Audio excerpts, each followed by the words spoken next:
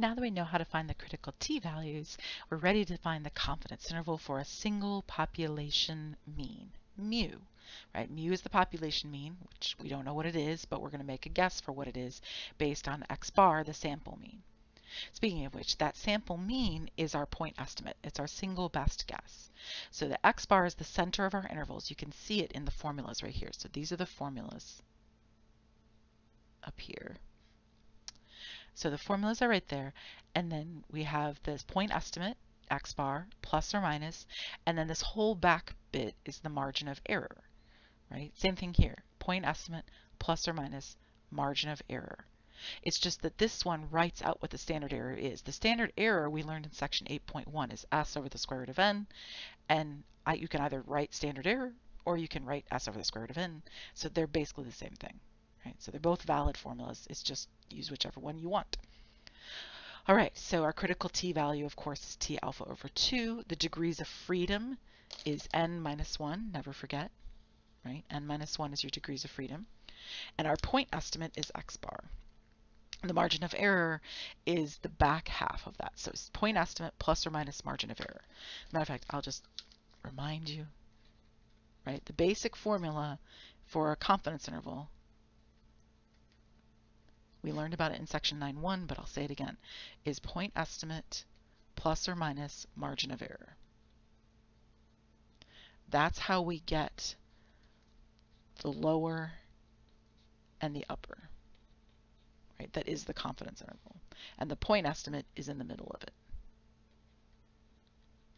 Right? That's how that works. Okay, so let's do it. All right, for the big problem, don't we love it? Oh, and of course, I should mention that all of this is predicated on the fact that we have to have our requirements, our conditions met, otherwise we can't do any of it. Um, that goes without saying because we've been doing that a lot lately. All right. So researchers at the Basra Maternity and Children's Hospital reported in 2015 in a 2015 study that from a random sample of 160 sickles, um, child sickle cell anemia patients, their average length of stay in the hospital was 4.34 days with a standard deviation of 2.85 days.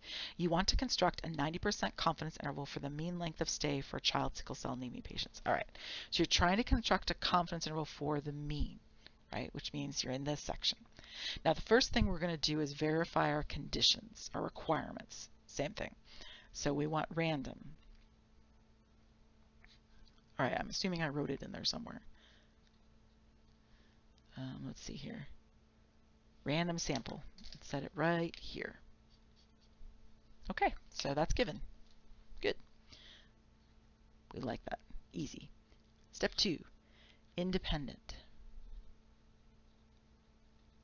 Okay, so we've got to prove this one. I mean, it's going to be yes, but we got to know why.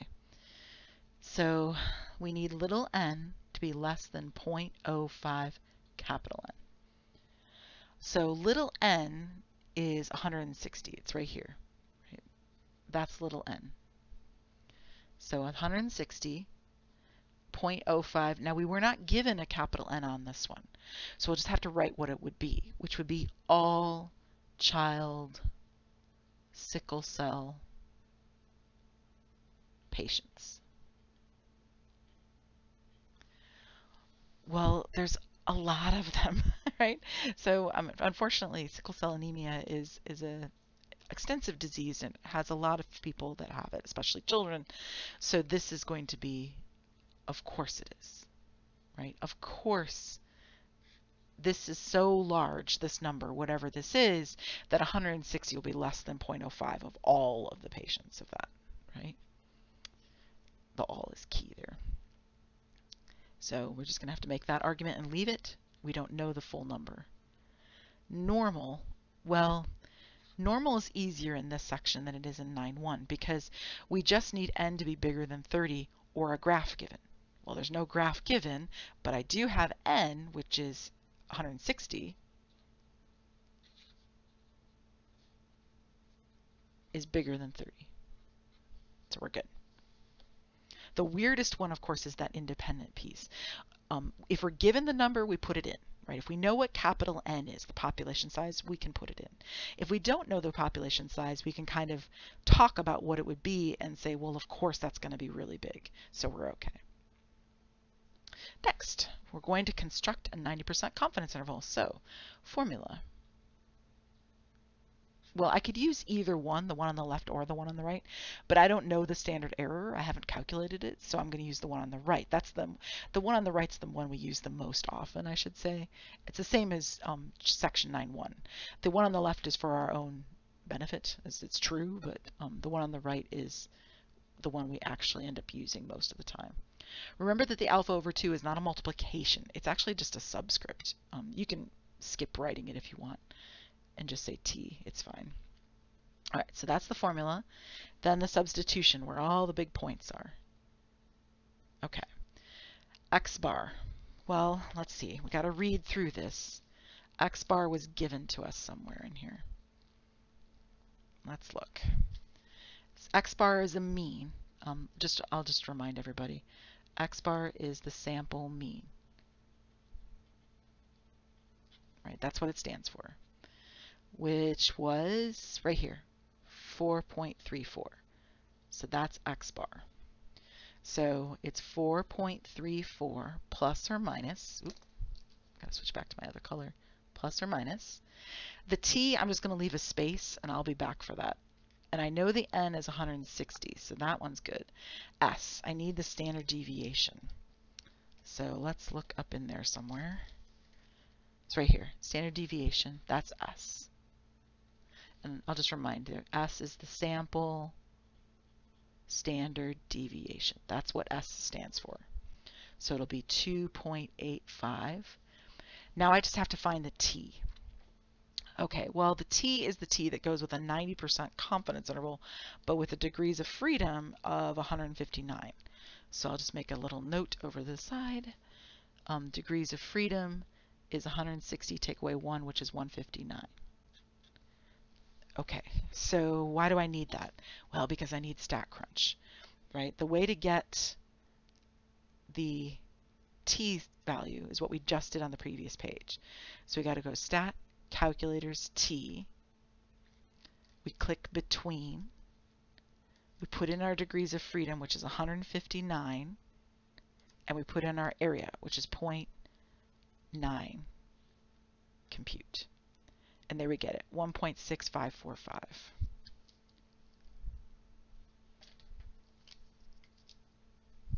Oop, hold on. 1.6545. And I'll just make a little note. Um, the t alpha over 2 find with StatCrunch. Right, see previous page. see previous page because we just did. All right, now you could go type all that in. Um, it's fine, but we can just find the result with StatCrunch.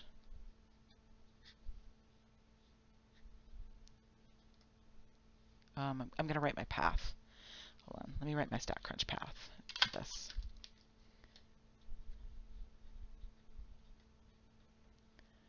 So we actually have to use StatCrunch twice. We use it once to find the t, right? That's with the t, right? Stat calculators t. And then we find the result with stat t stat. One sample. And then we have to choose either with data or with summary. So if I look at this particular problem, I don't have the data right? So I can't use data. I'm going to have to use with summary. So stat, t stat, one sample with summary on this one. All right, so I'm going to enter my values, which was 4.34, and then 2.85, and then 160. I want to click confidence interval. I want to put in the confidence I wanted, which was 90. And if you want a plot, you can have a plot, but it doesn't mean anything. And there we have it. So the lower and the upper are right there. There's your degrees of freedom, 159. There's your standard error. I can tell you, by the way, if you want to see the critical value, you can actually check the box right there, and it'll give you the t value as well. There it is. Same thing we had on the previous page. or the previous um, window here. Right there. See? So it's the same thing. That's just a checkbox you can check in there if you want to. So and if you want to avoid doing the stat calculators T, you can do it that way instead.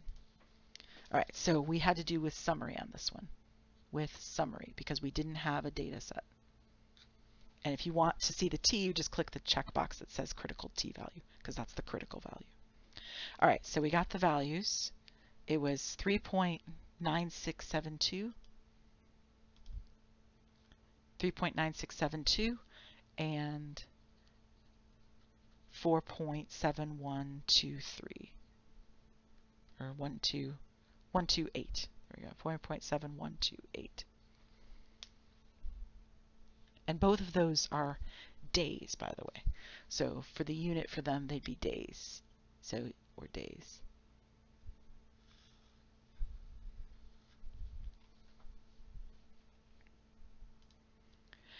Suppose the Basra hospital chief claims that a majority of sickle cell anemia patients take less than 4.5 days to recover. Does the confidence interval support or contradict their claim? Okay, so let's let's read that a little bit. The claim that they're making is that they patients take less than 4.5 days. So this is the claim. Right? Less than 4.5.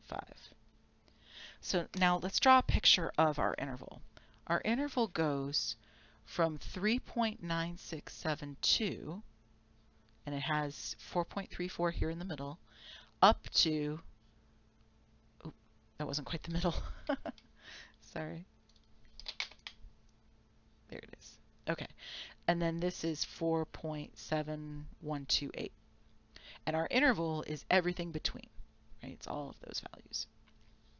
Okay, so you have to ask yourself, is your entire interval below 4.5?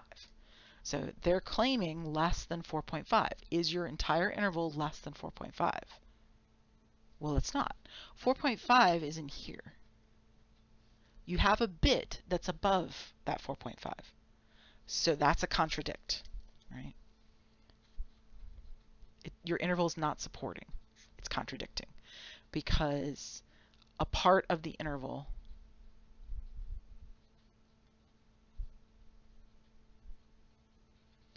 is above 4.5. Particularly the upper limit, I guess. And if I want to be specific about it, the upper limit of the interval.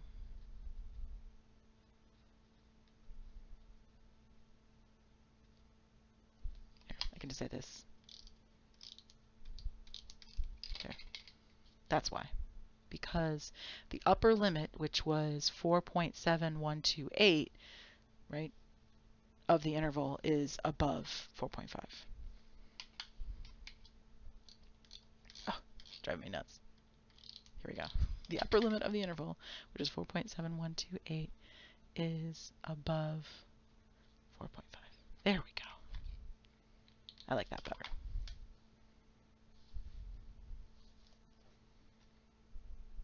And I said this when we ran into this before in section 9.1. You need your entire interval to be where they're claiming to support, right? Supporting is actually kind of tricky. To support, your whole interval has to be where they say. But your whole interval isn't where they say. A lot of your interval is where they say, but not all of it. There's this bit over here on the top that's higher than 4.5, so that's a contradict.